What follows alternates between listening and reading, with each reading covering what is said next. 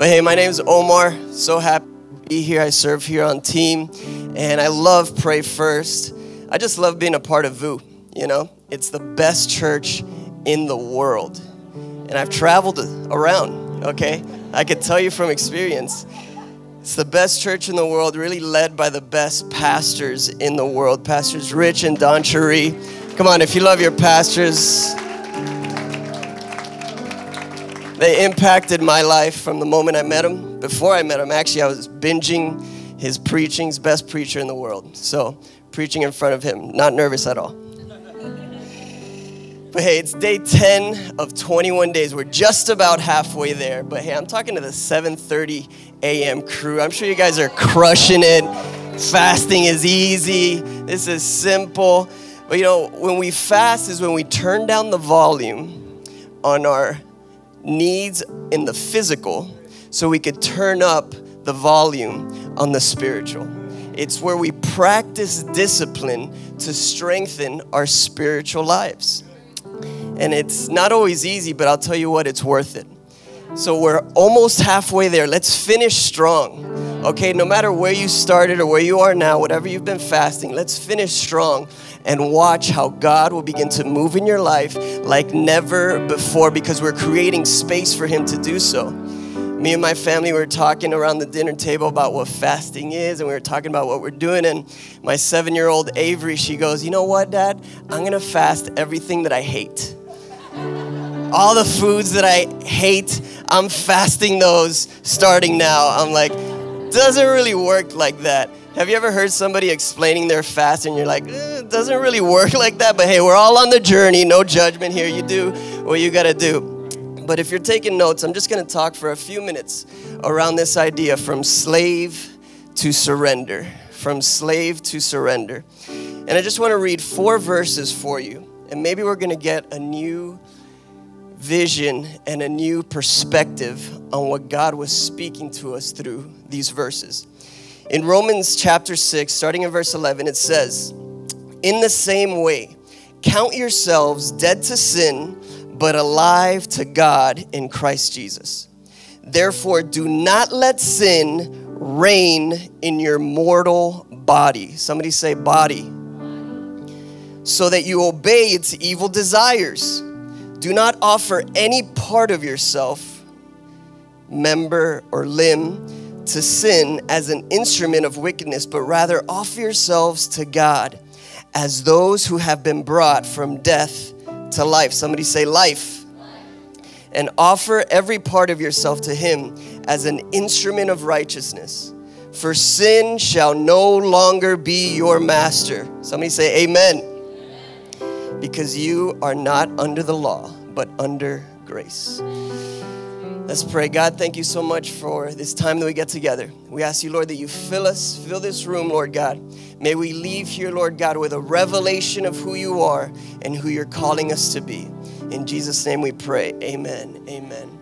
Hey, it's during times of fasting when we say no to our bodies, to our the desires of, of our natural selves, we get to see how strong those desires really are. Isn't it wild? You may say, like, I'm not gonna have chocolate for 21 days. And all of a sudden, this creature comes out of you. I need chocolate now. And that desire is strong. You start to ask yourself, wait a second, who's really in charge here? Is it these desires of my body or is it the Spirit of God? Who reigns in my body? You know, when they asked me to speak this morning, they said, Hey, would you speak this morning? I said, I'd love to. Gosh, that'd be awesome. Okay, here's your topic the body and health. I'm like, Oh, God.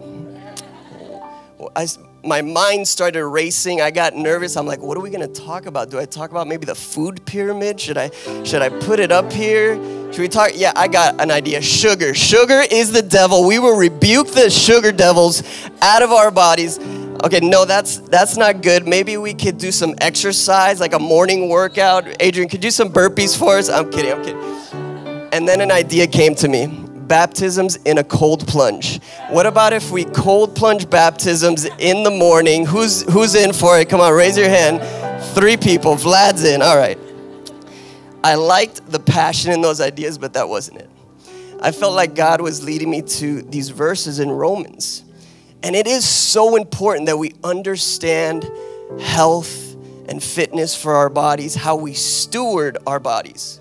You know that how you steward your body is a testimony to those around you? It's a testimony of how we steward what God gave you. The first thing that God gave you was your body. How are you going to steward that thing? Like Pastor Rich said in week one of the collection, you can't steward what you don't understand. We need to understand healthy living habits. I'm not talking about being a professional athlete or six pack abs, because that's what we imagine, right? When we think about health and fitness. Hey, my body's the temple, and this, battle, this temple is gonna be shredded. People will come to worship at my temple. No, it's, it, it's not that. That's when we start to idolize the body. Dallas Willard said this about the body, and I think it's so true probably the least understood aspect of progress in Christ likeness is the role of the body in the spiritual life. He also says that our body is our first kingdom. So, who reigns that kingdom? Who's the king of that kingdom? Underneath the surface, what is found in our bodies? How can you tell? Well, what are some of the reactions when things happen to you? When somebody cuts you off in traffic, what comes out of your body? When somebody gets promoted ahead of you at work, when you find out that somebody is paid more than you are, does anger, jealousy, hate, cursing, are those things readily coming out of your body? What about when you get in an argument with your spouse? What comes out of you? Me and my wife Erica, we were arguing not too long ago, and you know, things started to get heated, and we started to say things that we didn't mean. Anybody ever been there before? Got a few people. You know, later in the day when we're making up and saying our sorries, one of us said something that I'll never forget. I won't tell you who. But here's what I said.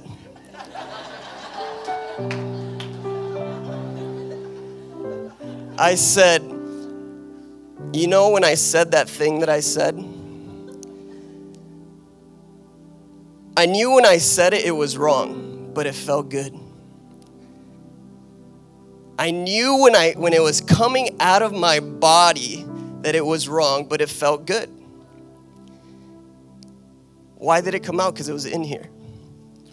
And that's how the body often works as an instrument of wickedness. It feels good in the moment, but it leads to death and destruction. So, what do we do? How do we get this body that's reigned by sin, our mortal, mortal bodies, and change it? We read in those verses offer yourselves to God as those who have been brought from death to life.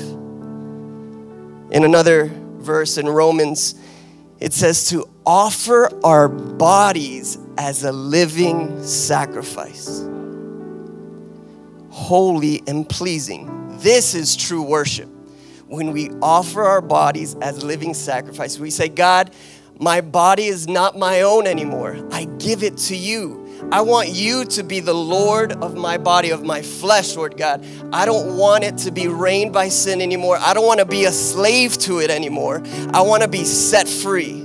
Lord, I offer my body to you, and in just a few minutes, we're going to have that opportunity. But the first step is to surrender. The first step is to surrender it over to Him. Our habits, our bodies. You see, you were bought with a price. The precious blood of Jesus purchased you. Your body is not your own. So when we surrender it to God, that's when it's true and proper worship. And that's how we're set free. You know, speaking about health and wellness, the healthiest thing you could do for your body is give it over to God. That's step number one. Say, God, my body is not my own, it's yours, Lord. I want you to reign in my body. And then the second step is to train. Now begins the training. Once we've given it over to God, we have to retrain our body to new habits. Because who knows, you may, in a moment of prayer and worship, surrender your body to God, but then tomorrow go back willingly to your old master, to your old ways, to your old habits. And then you wonder, why do I continue to lose these battles? It's because you've never taken a moment to retrain your body. And it's through daily discipline that we retrain our body. The Bible says, take up your cross once a month. No, no. Take up your cross once a week. No, no, no. How often? Daily. Take up your cross daily. Think about a cross. What is it? It's a device for death. And what's dying? Our flesh. It's our flesh that we have to kill every day. Take up our cross daily and retrain. How do we train through daily disciplines? Prayer, worship, reading of the Word of God, joining a crew, Bible studies. Attending church is a discipline that trains our bodies. These are things that will develop you. Your disciplines develop you. Who are you becoming? Look at your habits, look at your disciplines, and you'll find out. Your disciplines will develop you from who you are to who God is calling you to be. And it starts with surrender. We can begin to train our eyes to see the good again. Our eyes are the windows to our soul. We can begin to train our tongues to speak life. Your tongue has the power of life and death. We be, can begin to train our hands to lift up and encourage. Train your feet to go to where the needy are, to where the need is. We're re- retraining our habits, our bodies to serve our new master, who's Jesus Christ, who purchased it on the cross when he died. It's no longer sin that will reign, but we're giving our bodies over to God who created us in the first place.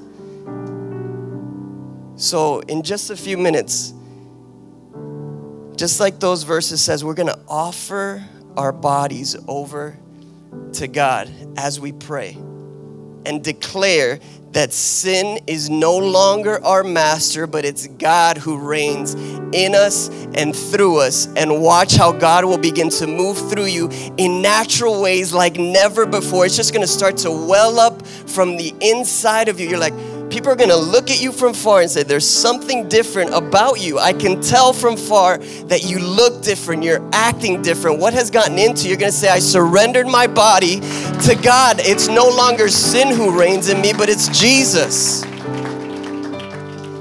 So we're gonna take the next 15 minutes for individual prayer.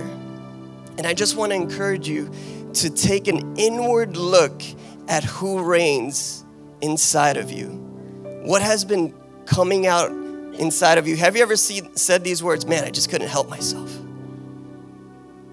Or have you ever heard somebody say, that's just me, take it or leave it?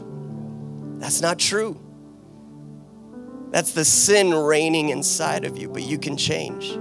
You could be transformed today in a moment of prayer and surrender. So, for these next 15 minutes, the worship team is going to be playing. We're going to have a playlist playing let's begin to pray individually. You could move around the room, you could kneel down at your chairs. Let's take full advantage of the Spirit of God in this place. There's also a prayer team that's going to come up to the front and around the room. If you feel like you need prayer, that's what they're there for. Where you could take a moment to get together with somebody and pray and unload your burdens and have somebody pray over you. So, hey, let's take these next 15 minutes to do just that.